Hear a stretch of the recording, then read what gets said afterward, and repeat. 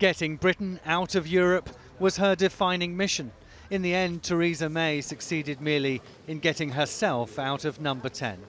Never a natural performer, she didn't initially seem a natural leader either.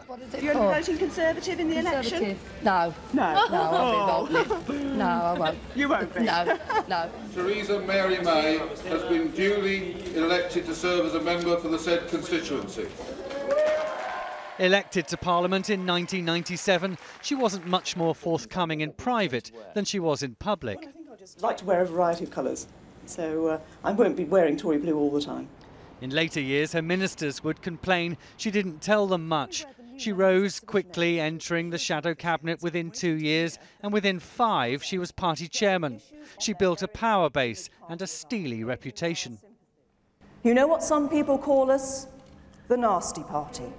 She became the longest serving Home Secretary for 60 years, taking on the Police Federation over cuts.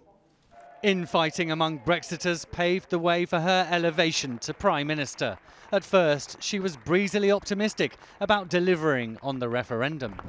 Brexit means Brexit. But she also promised her government would have much more to offer. We will make Britain a country that works not for a privileged few, but for every one of us. Some questioned her cozying up to the new US president, and her judgment at home was under scrutiny time and time again. Under pressure from Brexiters, she triggered Article 50, giving up control of the Brexit process. Then, despite insisting she wouldn't, she called a snap election. Division in Westminster will risk our ability to make a success of Brexit, and it will cause damaging uncertainty and instability to the country. So we need a general election, and we need one now. The campaign was a disaster. Her social care policy imploded, even as she insisted it hadn't. Nothing has changed. Nothing has changed. And her inability to sound human was ruthlessly exposed. What's the naughtiest thing you ever did? Oh, goodness me.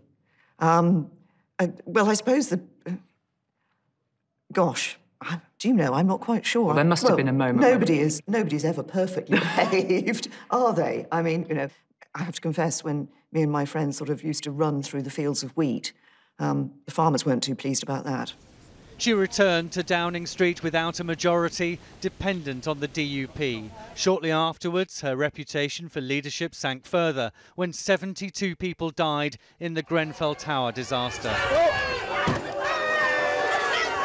Her failure to meet those affected, universally criticised. In the autumn, tragedy turned to farce with her set piece conference speech. Why, why we will never. Excuse me. A comedian delivered a fake P45 and the backdrop fell apart.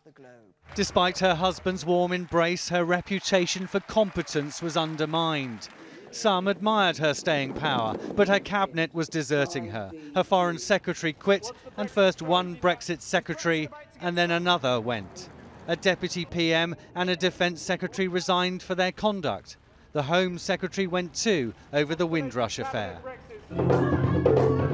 Mrs May learnt to show her lighter side, dancing with school children on a trip to Africa. When her moves were mocked, she showed at her next conference that she could laugh at herself too. Mrs May dealt with the demands of the job while also coping with type 1 diabetes. She wore a monitoring patch on her arm. In fact, no one ever knocked Theresa May's resilience. This was a Prime Minister who stuck doggedly to the task. There's been an awful lot of speculation which has ab- about my future, which has no basis in it whatsoever. I'm in this for the long term.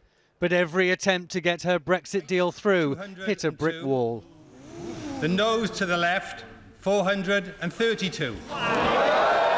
The DUP and the Eurosceptic wing of her own party repeatedly refusing to support her withdrawal agreement with the European Union. And the issue of the UK's relationship with our nearest neighbours had again ended the career of another Tory Prime Minister. Angus Walker, ITV News, Westminster.